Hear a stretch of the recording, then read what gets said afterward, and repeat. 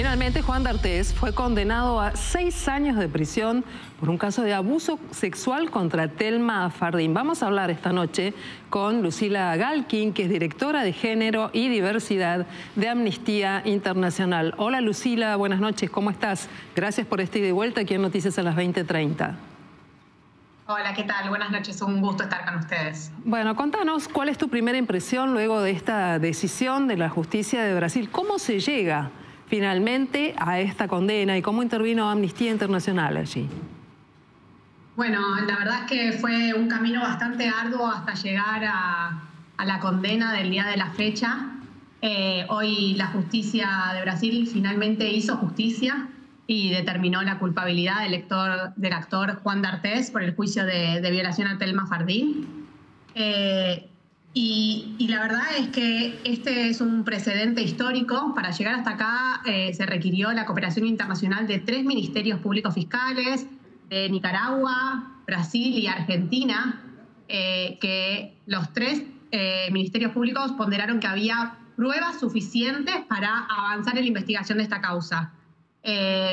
Desde Amnistía Internacional venimos acompañando a Telma ya hace muchos años en la causa ante la justicia en Brasil, en, el proceso que se llevó eh, a cabo, que tuvo muchísimos traspieces. Eh, el, actor Juan D'Artés intentó en reiteradas oportunidades obstaculizar este proceso y solicitar la, suspensión del mismo. Fueron muchísimos los palos en la rueda que, hubo que enfrentar eh, y sin embargo hoy finalmente se logró hacer justicia.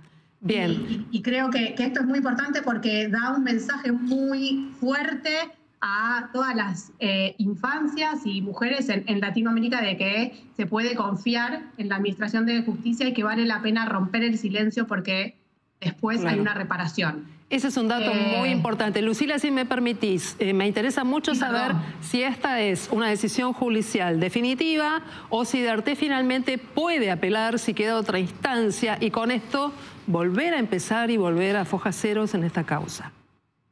No, no, ya volver a fojas ceros nunca más. Sí, él tiene derecho a apelar esta sentencia. Eh, y, me imagino que, la va a apelar. No es una sentencia que esté firme.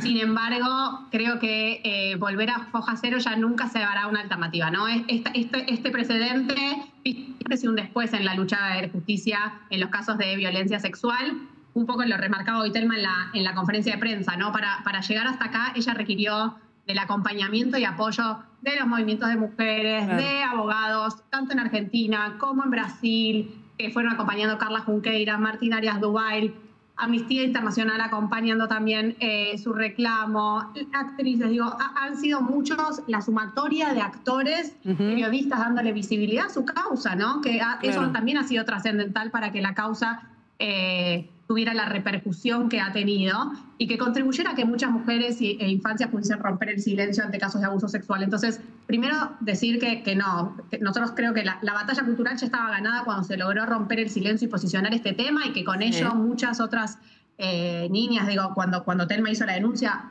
hubo un aumento del 1.200% de las llamadas a, las, a las niñas de teléfono de abuso sexual infantil y más de un 120% de aumento en las líneas de 144 de eh, violencia de género. Entonces, por un lado, esa ya fue una batalla ganada al inicio de, de esta denuncia. Y con la sentencia de hoy, el mensaje que se envía es que vale la pena ir a hacer una denuncia, porque aunque el proceso sea muy arduo y a veces muy cuesta arriba y se enfrenten muchos palos en la rueda, hay una justicia reparadora. Claro, la respuesta institucional es lo que estamos poniendo en valor, que las personas abusadas que pasan por un verdadero infierno puedan romper el cerco y que institucionalmente la justicia sea la encargada de eventualmente generar una condena. ¿Esa sentencia se tiene que cumplir, ese fallo se tendría que cumplir en Brasil o hay alguna posibilidad de que venga a la Argentina? Porque allí está también la cuestión de la extradición, ¿verdad? Así es. Eh, el, caso tramita en Brasil porque Brasil no extradita nacionales. El actor Juan D'Artés tiene también la nacionalidad del país brasileño y es por eso que la justicia eh, pidió todos los antecedentes en la causa en Nicaragua y una vez que comprobó que había pruebas suficientes como para avanzar con la investigación, es que de oficio decide la justicia brasileña para cumplir con los compromisos internacionales también en materia de derechos humanos, de juzgar y sancionar la violencia de género, es que decide eh, avanzar con este proceso. Y la verdad que, que por supuesto, Telma contó con muchos apoyos y muchas infancias tienen que enfrentar muchos obstáculos y muchas veces es muy difícil y dice, bueno, pero si, si Telma tuvo que enfrentar tantos obstáculos, ¿cómo va a ser mi camino más llano, no? Pero creemos que este tipo de antecedentes, de alguna manera, logran revertir, perdón, eh, revertir los patrones de impunidad que hay en, la región. Eh, la verdad es que contamos con datos alarmantes. La, la, UFEM, que es la unidad fiscal especializada en violencia contra las mujeres en la Argentina, da cuenta de que solo el 15.5 de las denuncias por delitos contra la integridad sexual llega a sentencias condenatorias. ¿Y esto, ¿y esto por qué pensás? es solo de un 1%. En, Brasil un 1 en Brasil un 1%, en Argentina un 15%. ¿Y por qué cuesta tanto eh, romper esa barrera y lograr finalmente la sentencia? ¿Por qué la víctima, que en definitiva es víctima, le cuesta tanto eh, ser escuchada y creída en, las denuncias que realiza. El tema es tremendo, es aberrante, ¿no? Es un delito aberrante.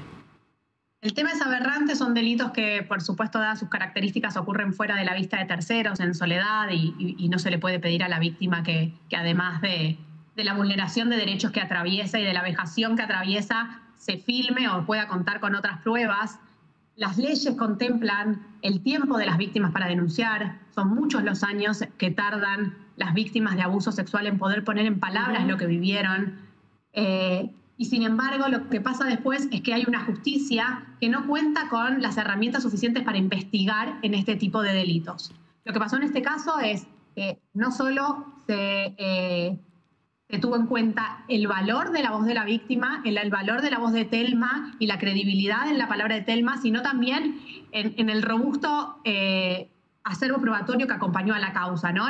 Las, pericias psicológicas, psiquiátricas, la prueba testimonial y todo lo que eh, contribuyó a que hoy se diga que eh, D'Artés fue responsable del delito de violencia sexual. Claro, la, instrucción, la instrucción de, la causa, la investigación, no solamente se hizo con denuncias en los medios, se construyó prueba y la prueba es determinante para la evaluación de la, justicia.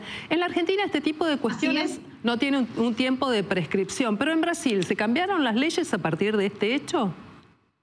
No a partir de este hecho, pero sí contemplan que eh, la prescripción empieza a correr luego de cumplidos 18 años, eh, igual que lo es hoy en la Argentina. O sea, cuando ocurre durante las infancias, la prescripción empieza a correr después y hay diversas cuestiones como la interposición de una demanda eh, que hace que estos periodos se, interrumpan. pero otra cuestión que me parece que vale la pena destacar de este caso es en general, y, esto sucedió a lo largo de este proceso, Telma fue numerosas veces revictimizada a lo largo del proceso, fue sometida a más de nueve pericias, tres pericias en Nicaragua, cinco en Argentina, una en Brasil que se dedicaron a hurgar en su vida privada y en la de su familia. La justicia se ocupó casi exclusivamente de cuestionar la credibilidad de su testimonio o identificar una fisura en su relato. Fue ella la que tuvo que declarar más de tres veces en el marco de la causa cuando D'Artés, el acusado, solo declaró una vez y la única vez que la hizo se, negó a responder las preguntas.